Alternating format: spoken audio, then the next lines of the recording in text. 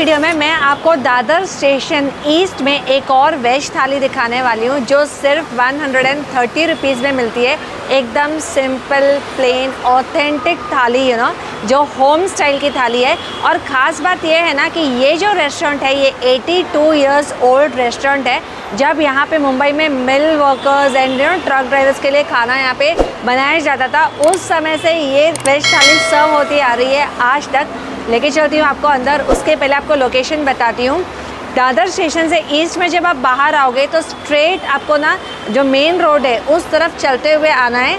और hardly four to five minutes के walking distance पे है बस आप एक लेफ़्ट लोगे ना तो यहाँ पे है रामकृष्ण बोर्डिंग हाउस और ये ऑपोजिट एशिया जो बस स्टैंड है, जो बहुत ही फ़ेमस है, और जहाँ से ना बसेस आउट ऑफ़ मुंबई जाती है, उसके एग्जैक्टली exactly यहाँ पे ऑपोजिट में है फायर ब्रिगेड के भी सामने आप पूछ के आ सकते हो।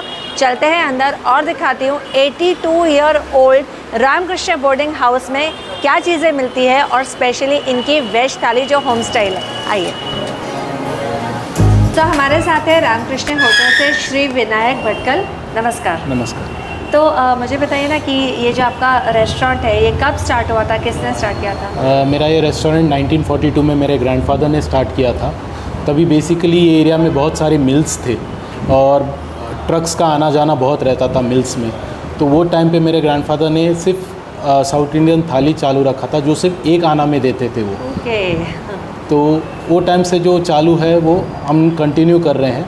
तो क्योंकि ये इतना पुराना रेस्टोरेंट है ना अराउंड 82 इयर्स ओल्ड तो मुझे पहले से ही पता था कि ऑथेंटिक साउथ इंडियन सर्व करने वाला रेस्टोरेंट है ये। तो साउथ इंडियन डिशेज़ ही मुझे यहाँ पे आके खाना है, और मैंने गूगल रिव्यूज़ भी चेक किए तो मुझे पता चला कि जो इनकी इडली पोड़ी है, ये बहुत ही ज़्यादा पॉपुलर है, लोग बहुत पसंद करते हैं खाना। तो सबसे पहले मैंने यहाँ पे ये इडली पोड़ी मंगवाया है।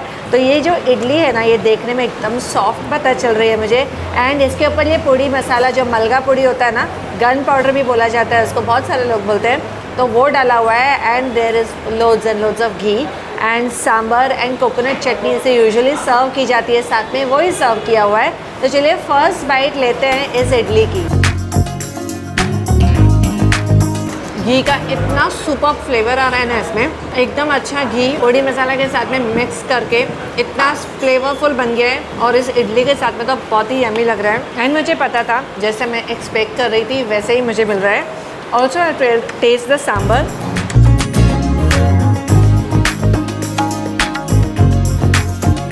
कुछ वेजीज इसमें दिखाई दे रहे हैं, मुझे पम्पकिन ऑल दोस्त एंड पतला सांभर है एंड जो नारियल की चटनी है ना इसमें कोई तड़का मुझे नहीं दिखाई दे रहा है मुझे एकदम प्लेन दिखाई दे रही है। तो एक बाइट लेती हूँ इडली पूड़ी की चटनी के साथ में।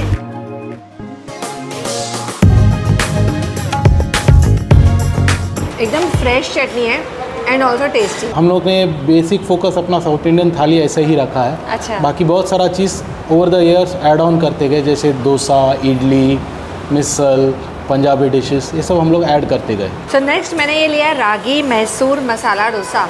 ना मैसूर मसाला डोसा तो आपको हर रेस्टोरेंट में मिल जाएगा और आजकल कहीं कहीं पे ना रागी डोसा भी मिल जाता है। बट रागी मैसूर मसाला डोसा ऐसे मैंने कॉम्बिनेशन सुना नहीं अभी तक। मैसूर मसाला पढ़ के मुझे लगा था ना कि आलू की सब्ज़ी आएगी इसके अंदर and then that Mysore chutney. But this is only Mysore chutney डोसे में लगाई हुई है। कोकोनट चटनी के साथ में ट्राई करूँगी। ऊपर है ना एक्चुअली काफ़ी सारा घी डाला हुआ है तो वो देखे again it become so tempting you know because मुझे घी डालना बहुत ही पसंद है अपने खाने में। डेली भी मैं ना, जब घर पे भी कुछ भी खाना खाती हूँ ना, रोटी पे and other stuff you know dal and all I always put ghee and have crisp dosa है, और इसके अंदर ना ये जो मैसूर मसाला लगा हुआ है, और प्लस ऊपर से घी डाला है तो टेस्ट एकदम एनहेंस हो गया है। तो जो रवा मसाला जैसा होता है ना, जो बेस उसका उसमें रागी ऐड करके बनाया हुआ है। सो so नेक्स्ट मैंने यहाँ पे ऑर्डर किया है मिसल और एक्चुअली है ना, मिसल का भी मैंने रिव्यू देखा था गूगल पे इनका काफ़ी अच्छा था। और जो साउथ इंडियन रेस्टोरेंट होता है ना, इनकी मिसल अलग होती है। फ्रॉम द यूजल जो महाराष्ट्रन मिसल हम खाते हैं ना, वो होती है मटकी मिसल या होती है स्प्राउट्स की मिसल। बट ये मिसल अलग होती है, ये मैं आपको बताती हूँ कि इसमें क्या डिफरेंट होता है। तो इसमें है ना, मटकी या स्प्राउट्स की जगह पे जो वटाना होता है ना वाइट वटाना या ग्रीन वटाना उस टाइप का वटाना वो यूज़ करते हैं एंड ग्रेवी थोड़ी सी उसका टेस्ट अलग होता है। तो पहले इसके ऊपर कांदा डाल के और अच्छे से नींबू को स्क्वीज़ कर देती हूँ, जिसकी वजह से टेस्ट और एनहांस हो जाएगा। और जो इसमें फरसान डाला हुआ है ना तो इसमें मुझे बारीक वाले सेव काफ़ी सारे दिखाई दे रहे हैं एंड जो रेगुलर जो तीखा वाला जो सेव होता है ना, मोटा वाला, बड़ा, जो वो है एंड फीका वाला सेव भी इसमें दिखाई दे रहा है। This papdi too so so, एक बाइट लेते हैं मिसल पाव का। जो मसाला इसमें डाला हुआ है ना वो एक अलग ही स्वाद है उसका जिसकी वजह से मिसल का टेस्ट ना काफ़ी अलग हो गया है महाराष्ट्र मिसल से। और अगर स्पाइस लेवल की बात करूँ ना so it is not very spicy और it is medium spicy you know जैसे नॉर्मली आप खाओगे कोई भी खाना तो वैसे टाइप का इसका जो स्पाइस लेवल है। So when we usually visit a South Indian restaurant you know and जब मिसल ऑर्डर करते हैं वहाँ जाके so this is how you know the typical South Indian misal आपको रेस्टोरेंट में मिलेगी, बिल्कुल वैसी ही है। मेरा टाइमिंग है morning 8:30 to three o'clock and evening seven to ten location is near Dadar post office exactly opposite to Dadar Asia stand Dadar east Ramakrishna boarding house तो ये है वो वेज थाली जो एक्चुअली मैं ट्राई करने के लिए आई थी, क्योंकि जैसे ही मुझे पता चला ना कि दादर स्टेशन के पास में वेज थाली मिल रही है सिर्फ़ one hundred and thirty rupees में, और काफ़ी पॉपुलर भी है तो मैंने सोचा ट्राई करके देखती हूँ, क्योंकि जो हमारी सीरीज़ है ना veg thali near popular railway station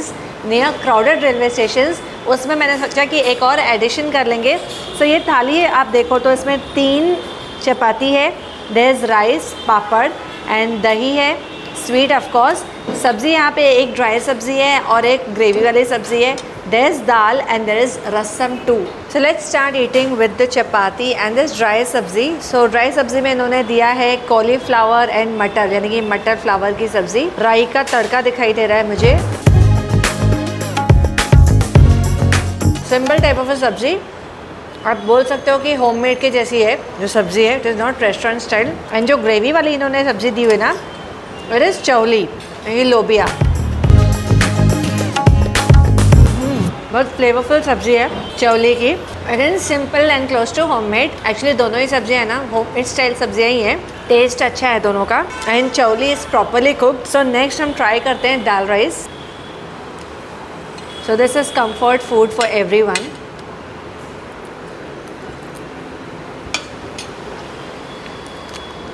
and simple dal fry and rice बहुत ही बढ़िया टेस्ट जैसे मैंने बोला कंफर्ट फ़ूड होता ही है हमारा. अगेन घर का बना हुआ दाल चावल बिल्कुल वैसा लग रहा है ये. रसम भी दी है. मेरे को ना रसम के साथ चावल बहुत अच्छे लगते हैं, वो भी खा के बताती हूँ। तो यूजुअली जैसे इसकी कंसिस्टेंसी दिखाई दे रही है ना, आपको थिन ऐसी ही होती है इसकी। तो बोलते हैं कि डाइजेशन के लिए काफ़ी ईजी होती है और खाने में बहुत ही लाइट होती है। तो इसकी कंसिस्टेंसी देख के ही आप अंदाज़ लगा सकते हो कितनी लाइट होगी ये। This is really good Udupi style rasam. Tomatoes भी डाले हुए हैं इसके अंदर। एंड बहुत ज़्यादा टेंगी नहीं है, एकदम हल्का सा खट्टापन इसके अंदर आ रहा है, जो अच्छा लग रहा है। इसके साथ में इन्होंने दही भी सर्व किया है एंड स्वीट में इन्होंने पायसम दिया हुआ है। तो आपको पायसम भी टेस्ट करके बताती हूँ कि कैसी बनी है। सो बहुत ज़्यादा हैवी वाली खीर होती है ना, वैसी नहीं है इट्स लाइट इसमें काजू डाला हुआ है एंड किशमिश है। एंड चावल की बनी खीर है तो साउथ में खीर को एक्चुअली पैसम बोलते हैं साउथ इंडिया में। सो so, इसके लिए पैसम और इसमें ना मुझे एक यू नो लौंग का हल्का हल्का जो फ्लेवर आ रहा है पैसम के अंदर जो बहुत अच्छा लग रहा है। So I am having a good time enjoying this plain simple home style thali जो दादर स्टेशन के बिल्कुल पास में है। Hardly four to five minutes के वॉकिंग डिस्टेंस पे। और यहाँ का मैंने एड्रेस आपको वीडियो के स्टार्टिंग में बता दिया है।